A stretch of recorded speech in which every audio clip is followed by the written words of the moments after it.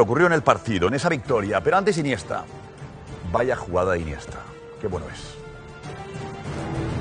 Son acciones, acciones muy rápidas y, y bueno, vas encontrando rivales y, y vas improvisando un poco también.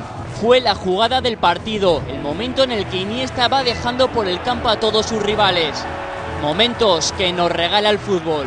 El fútbol son, son momentos de, de improvisación y todo salió bien.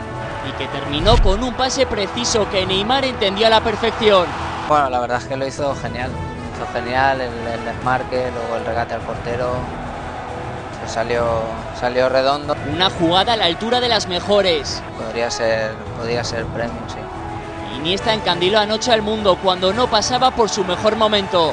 Y bueno, siempre intento eh, mejorar en lo que hago. Eh, todas las temporadas son, distintas, hay momentos de todo. El mejor Iniesta volvía a homenajear al fútbol.